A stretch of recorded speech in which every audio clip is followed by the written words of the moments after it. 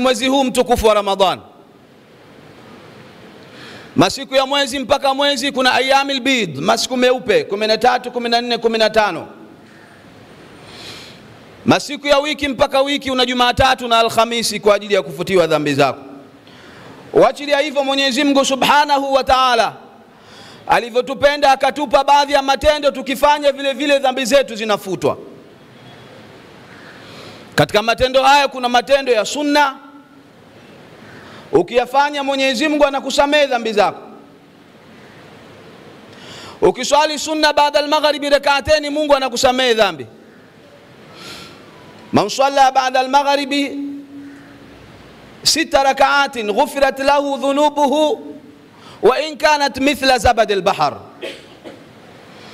mtu atakayeswali baada al-maghribi sita rak'atin, rakaa sita kama hazikuwezekana sita basi hata rakaa mbili, sio lazima zote sita. Kuna rakaa ishirini pale awabin, swala zinaitwa salatul awabin, rakaa ishirini, swala za wale ambao wanaotaka kurejea kwa Mungu. Sio lazima ishirini, swali sita, uwezi swali nne, uwezi swali mbili, madhambi yako yanafutwa. Mtume anasema hata kama yakiwa mfano wa mapovu ya bahari povu la bahari kila sekunde linajirudia. Unaposwali rakaa mbili baada ya magharibi, sala rakaa mbili baada ya magharibi zinafuta dhambi zako. Hii ofa ya kila siku, wachilia mbali ofa tuliyoizungumza ya kila mwaka, wachilia mbali ofa tuliyoizungumza ya kila wiki, wachilia mbali ofa tuliyoizungumza ya kila mwezi. rahimallahu mraan salla qabla al-asri arbaa Mungu amwonee hurma riwaya aliyopokea Imamu Tabarani, mtu ambaye ameswali kabla al-asri raka nne. Unaswali raka mbili unamaliza, unaswali raka mbili zingine nne. Dua ya Mtume Muhammad umeipata ya kuhurumiwa na kusamehewa dhambi zako. Mtume alikuwa akimaliza kuswali raka mbili za kwanza anasema assalamu ala malaikati llahi almuqarrabina wa ala anbiyai llahi walmursalina wa ala ibadi llahi salihin raka mbili akimaliza maneno haya anasimama anaswali tena raka mbili. Hizi ni ofa za mwezi, za wiki, za siku, ili Mungu tu alivyotupenda ummati Muhammad atupe vitu vya kutufanya dhambe zetu zikasamehewa. Wachilia mbali, ametupa mwezi mtukufu wa Ramadhan, kumi la rehma lishapita. Hadithi alipokea Ibn Khuzaima, mmoja katika wahifadhi wa hadithi bila shaka كم لا كوانزا رحمة أولها رحمة.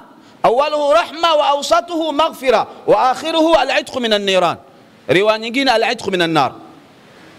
كم بلا رحمة. تشاري بيتا. هريبو. توبى لمن أدركه في سنة القابلة. أتكيبات أتلدريك مكوجاو لكن هريبو لشوندوك. توبو كاتكا كاكومي لم سماها na ndio maana hutuba yetu inazungumzia ukubwa wa msamaha wa Mungu. Yote aliyetupa Mungu katika masiku ya kawaida kabla ya mwezi wa Ramadhani, miezi ya kawaida kabla ya mwezi wa Ramadhani, akaona hapana, waja wangu ummati Muhammad, kwa sababu nimempenda mtume wao Mtume Muhammad, na wao nimewafanya umma bora, ummati Muhammad, kwa ikram aliyokirimiwa Mtume Muhammad na mapenzi yaliyokuwa kwetu sisi kwa sababu ya Mtume Muhammad mpaka mambo yetu yamekuwa mepesi mepesi mepesi mepesi. Makumi ya Ramadhani yametugawanyia tofauti na wenzetu Ramadhani zao walizokuwa wakifunga, kumi la rehma, kumi la msamaha, mwisho kuachwa huru na moto. manjada wajada wa kullu man sara ala darbi wasala, ndio kilichobakia. Ukijipinda utapata.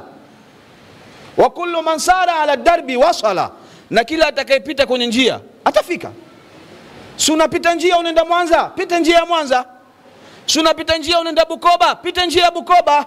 Si unaenda Mbagala, pita njia ya Mbagala, utafika. Na kwa Mungu hivyo hivyo, wa kullu man sara ala darbi wasala, kila atakayepita kwenye njia iliyokuwa sahihi atafika. Mungu rahim, Mungu karim, haangalii ukubwa wa dhambi, wala haangalii wingi wa maasi, wala haangalii rangi ya mtu, wala haangalii udhalili na udhaifu wa mtu, wala haangalii cheo na nafasi ya mtu Mungu yu na wewe, Mungu yu pamoja na wewe. Tunarudi kwa Mungu, katupa mwezi kumi hili hapa kumi la maghfira. Hata dhambi kama zitakuwa ukubwa gani, Mungu anazisamehe. Ndio hadithi inavyosema. Tusikate tamaa na wala tusichoke kurejea kwa Mwenyezi Mungu. Na alama kubwa ya kukubaliwa na Mwenyezi Mungu msamaha wake, alama zinaonekana. Mojawapo, utazidisha ibada. Kuna ibada ulikuwa ufanyi, utaifanya. Alama moja. Kuna ibada ulikuwa uifanyi, utaifanya. Pengine ulikuwa na swali swala za faradhi, sunna, pengine ulikuwa uswali hata kablia baadia, au ulikuwa huna kawaida ya kuleta istighfar siku za kawaida au kusoma Qur'an, utafanya kimojawapo. Alama Mungu huwa ameshakukubali na kashakuvuta. Watu wanasafika ndani ya mwezi wa Ramadhani, sio Ramadhani ya kula na kunywa na kuzungumza porojo porojo. Hapana, mwezi wa Ramadhani ni mwezi wa kurejea kwa Mwenyezi Mungu Subhanahu wa Ta'ala. lallahu afrahu bitaubati abdihi hina yatubu ilayhi min ahadikum kana ala rahilatihi biardhin falatin fanfalatat minhu wa alayha taamuhu wa sharabuhu faaisa minha fabainama huwa kadhalika idh hiya biha qaimatun indah faakhadha bikhutamiha thumma qala min shiddati lfarh allahumma anta abdi wa ana rabbuk akhtaa min shiddati lfarh. Hadithi kwenye Bukhari na Muslim. Mwenyezi Mungu anafurahi zaidi, lallahu, Mungu anafurahi zaidi kwa mja wake akimwona anarejea kwake. Wakati ule anahutubia. ukiwa unatubia kwa Mungu, Mungu anafurahi zaidi, kwa sababu Mungu anapenda kumwona mja wake dhalili, dhaifu, mnyonge, tofauti na binadamu. Binadamu utaomba kwake au utarejea kwake mara kwa mara. Sifa ya binadamu shuh, mabniin ala shuh, siku atakuchoka kama utarejea kwake utamwomba, kama utataka kitu, kama utataka msaada atakupa, atakupa, lakini ipo siku utaona ishara na alama fulani kwamba amekuchoka. Kama simu pengine apokee, kama alikuwa na kujibu kwa ufanisi, kwa raha, kwa sauti mzuri, kwa mvuto, kwa uchangamfu, sauti itashuka chini, tofauti na Allah subhanahu wa ta'ala. Mwenyezi Mungu mkarimu, rahimu, yani pale unapotubia ndo anafurahi. Mtume akatoa mfano kuliko mtu ameenda mfano kwenye jangwa huko, alipoenda kwenye jangwa lina mapoli hakuna maji, hakuna chakula, ana ngamia. Yule ngamia akaweka juu ya ngamia mzigo wake, kuna chakula, kuna maji. Mara akaenda kwenye mti akastarehe kwa lengo la kupumzika, mara ghafla yule ngamia katokomea, katoroka, kakimbia, hana chakula, hana maji. Nini kilichobakia? Anasubiri kufa. Akapumzika, mara ghafla yule ngamia mwenyewe anarudi akashika ile khatamu yake kamba ya ngamia, akakosea katika kuzungumza, akasema Allahumma anta Allahumma ana anta abdi wa ana rabbuk, anta abdi wa ana rabbuk, wewe Mungu ndo kiumbe mja, mimi ndo Mola. Kakosea.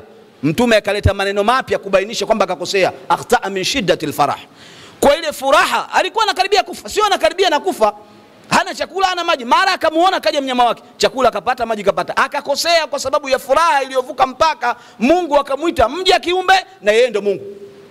Huyu mtu furaha yake ambayo kwamba aliyokuwa nayo baada ya kuona chakula na maji haifanani na furaha ya Mungu akikuona unarejea kwake, unatubia, ukaacha ya kubeti, ukaacha ya uzinzi, ukaacha ye dhulma, ukaacha ye kuongopa, ukaacha ye kusengenya ukaacha eh, kwenda kwenye majumba ya, ya, ya, ya madangulo, ukaacha eh, kugombanisha. Yaani kila dhambi ambayo kwamba mtu aliyokuwa anaifanya ajitahidi kwa Mola wake ndani ya kumi hili arudi, Mungu anasamehe. Almustaghfiru min adhambi wa huwa muqimun alayhi kalmustahzi birabbi, Mtume anasema kwenye hadithi, mtu anayeomba msamaha kwa Mungu, naomba msamaha kwa Mwenyezi Mungu, halafu bado hapo hapo yale aliyoyafanya anayafanya tena Mtume anasema huyu kalmustazi birabbi, anamchezea shere Mungu, anam, anamfanyia maskhara Mungu. Unasema mimi Mungu natubia kwako na dhambi fulani nimefanya mwezi wa Ramadhan au pengine mwezi wa Ramadhani huo, baada ya Ramadhan mtu anarudi tena kwenye ile ile dhambi aliyoifanya. Hakuna kitu, hii inaitwa israr. Israr, kudumu, yani hakuna kitu. Na ndio maana ukitaka kujua watu sio wa kweli, watu sio wa kweli, ukweli haupo katika nyoyo zao baada ya Ramadhani wanarudi kule kule, nikukosekana ukweli. Nini chengine?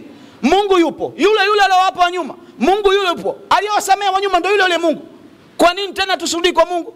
Kwa nini Mungu asitusamee? Kwa nini Mungu asitukubalie? Kwa nini tukimaliza Ramadhani tunarudi kwenye uchafu, uchafu na ufedhuli na ubaradhuli? hakuna ukweli ndani ya moyo,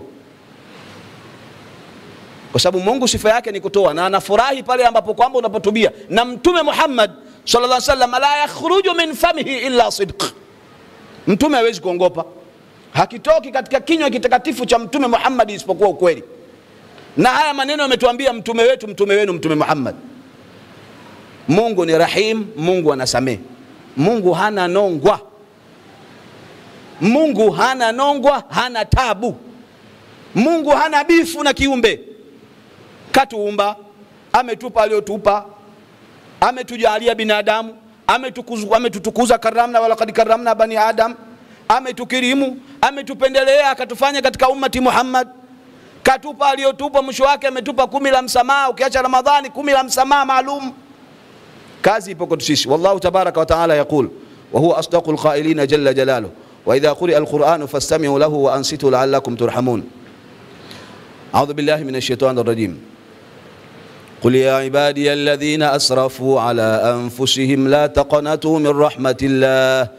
إن الله يغفر الذنوب جميعا. بارك الله لي ولكم بالقرآن العظيم ونفعني وإياكم بالآيات والذكر الحكيم. أقول قولي هذا وأستغفر الله العظيم لي ولكم فاستغفروه فيفوز المستغفرين ونجاة التائبين.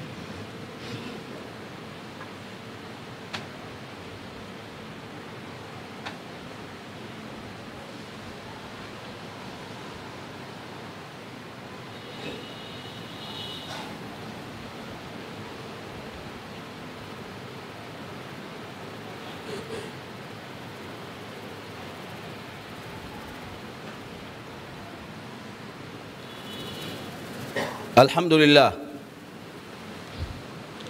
وافضل الصلاه واتم التسليم على رسول الله سيدنا محمد بن عبد الله وعلى اله واصحابه ومن والاه اما بعد فيا عباد الله nakuhusieni pamoja na kuihusia nafsi yangu kumcha Mwenyezi Mungu Subhanahu wa Ta'ala. Tunamshukuru Mwenyezi Mungu Azza wa Jalla kwa kutujalia tukadiriki kumi hili la kati la msamaha tunamshukuru Mwenyezi Mungu Subhanahu wa Ta'ala kwa kutuchagua sisi tukawa katika wafuasi wa Mtume Muhammad, akatupa yale ambayo kwamba aliyotupa, na akajaalia umma wetu ni umma mwepesi kabisa, na akajaalia yale aliyotupa ni matendo ambayo kwamba yaliyokuwa mepesi, tofauti na nyuma zilizopita. Ametuhusisha Mwenyezi Mungu Subhanahu wa Ta'ala na vitu vyepesi Inna Allaha taala radhiya lakum lyusra wa kariha lakum lusra. Mtume anasema kwenye hadithi, Mwenyezi Mungu amekupendeni umma wangu, amekupeni mambo mepesi, hajakupeni mambo mazito mazito. Tumemkosea Mungu, tunasema astaghfirullah, astaghfirullah, astaghfirullah, astaghfirullah. Ukiwa mkweli, Mungu anakusamehe. Wenzetu wala hawajawa hivyo. Ametupa Ramadhani ili kwamba Ramadhani inguze madhambi yetu, iteketeze madhambi yetu kwa mtu ambaye kwamba aliyekuwa na ukweli wa kumwelekea Mwenyezi Mungu Subhanahu wa Ta'ala, kwake ni fursa na sisi wote ni fursa kwetu sisi ya kurejea kwa Mwenyezi Mungu. Msamaha wa Mwenyezi Mungu ni mkubwa. Mwenyezi Mungu Azza wa Jalla anamsamehe mja wake vyovyote atakavyokuwa, madam yupo katika dini ya Uislamu, wala hana kubagua wala hana kuchagua msamaha wake ndio utakaomfanya akabadilika akawa mwema. Kurejea kwa Mwenyezi Mungu Subhanahu wa Ta'ala ndio kunamfanya mtu akabadilika akawa karibu na Mungu.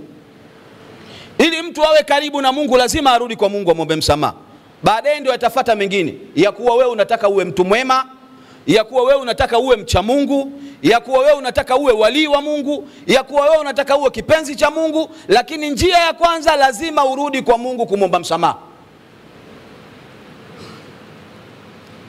Mtume amesimulia kwenye hadithi, Mwenyezi Mungu atamwamrisha mja na atawaamrisha malaika, atawaambia huyu mja wangu mpimeni madhambi yake, aridu alaihi shighara dhunubihi warfau anhu kibaraha. Faturadu anhu shigharu dhunubihi. Fayuqalu lahu amilta yauma kadha kadha wa kadha. Wa yauma kadha kadha wa kadha fayaqulu naam لا يستطيع أن ينكر من ذلك شيئا. وهو مشفق من كبار ذنوبه أن تعرض عليه. فيقول الله عز وجل قد بدلت سيئاتك بحسنات. فيقول يا رب إن عندي أشياء لا أراها ها هنا. فضحك النبي صلى الله عليه وسلم حتى بدت نواجذه. معنى حديث نين kurejea kwa mungu na kuonesha msamaha wa mungu. Upo. Sio ramadhani tu. Masiku ya kawaida na ramadhani na mpaka siku ya Kiyama.